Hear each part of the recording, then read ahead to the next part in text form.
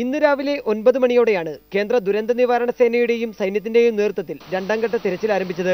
മുന്നൂറടിയിലധികം താഴ്ചയുള്ള കൊക്കയിലേക്ക് വീണ വാഹനങ്ങൾ കണ്ടെത്താനായെങ്കിലും അതിനുള്ളിൽ ആരെങ്കിലും കുടുങ്ങിക്കിടക്കണ്ടോ എന്ന് തിരച്ചിലിൽ വ്യക്തമായില്ല. പതിനൊന്ന് മണിയോടെ മുഖ്യമന്ത്രി ഉമ്മൻചാണ്ടി പ്രദേശത്തെത്തി. ആഭ്യന്തരമന്ത്രി തിരുവഞ്ചൂർ രാധാകൃഷ്ണൻ റവന്യൂ മന്ത്രി അടൂർ പ്രകാശ് എന്നിവരും മുഖ്യമന്ത്രിക്കൊപ്പം ഉണ്ടായിരുന്നു.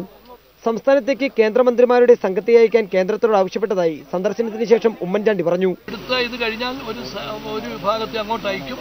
കൂടുതൽ പേര് നമ്മൾ ആവശ്യപ്പെട്ടിരിക്കുന്നത് ഈ താഴെ പ്രദേശങ്ങളിൽ എറണാകുളം ജില്ലയുടെ വിവിധ പ്രദേശങ്ങളിലും അതുപോലെ തന്നെ പിന്നെ വണ്ടിപ്പെരിയാർ പോലുള്ള പ്രദേശത്തേക്കും വേണ്ടിയിട്ടാണ് നമ്മൾ കൂടുതൽ പേരെ ഇപ്പം ചോദിക്കുകയും ചെയ്തിരിക്കുന്നത്. രണ്ടു മണിയോടെ ദുരന്ത നിവാരണ സേനയും സൈന്യവും താൽക്കാലികമായി തിരച്ചിൽ അവസാനിപ്പിച്ചു.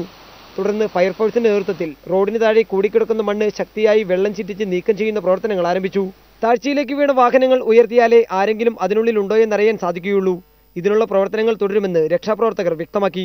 മണ്ണിനടിയിൽ ആരും കുടുങ്ങിക്കിടക്കില്ല എന്ന് ഉറപ്പുവരുത്തും വരെ തിരച്ചിൽ തുടരുമെന്നാണ് രക്ഷാപ്രവർത്തകർ പറയുന്നത്. ഇതിനുള്ള ശ്രമത്തിലാണ് ഏറെ വൈകിയും രക്ഷാപ്രവർത്തകർ. ഇടുക്കി ചീയപ്പാറയിൽ നിന്നും P S Vimal India Vision.